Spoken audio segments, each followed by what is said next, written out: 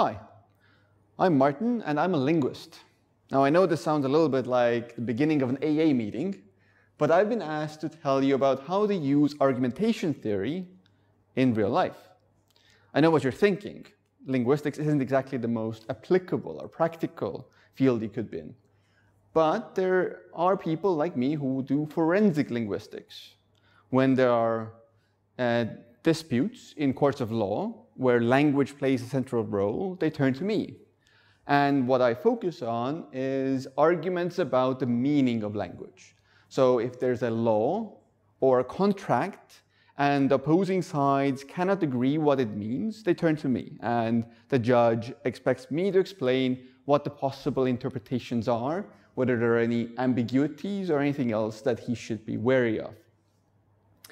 And there's a case that I recently had where you can very clearly see how the proper use of arguments is important.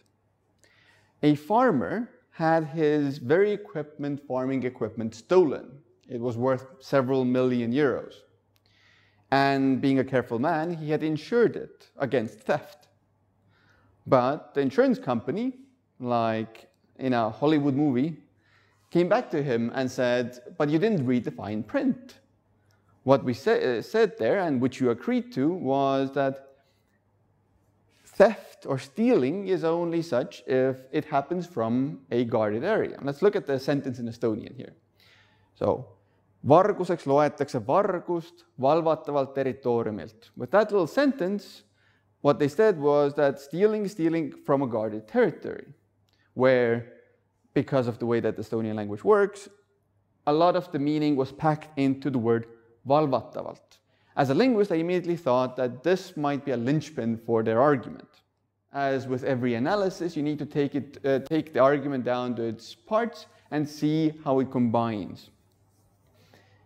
This word valvatavalt has two suffixes, the tav suffix and the alt suffix. The alt suffix is quite innocuous. It just means what uh, from means in English. But the tav suffix has several me meanings in the Estonian language. On the one hand, it has the meaning that the insurance company was looking for, that there is someone guarding, it's a guarded territory. But there's a second one as well, an ambiguity, which says it's a, a territory that can be guarded. It's epistemically possible.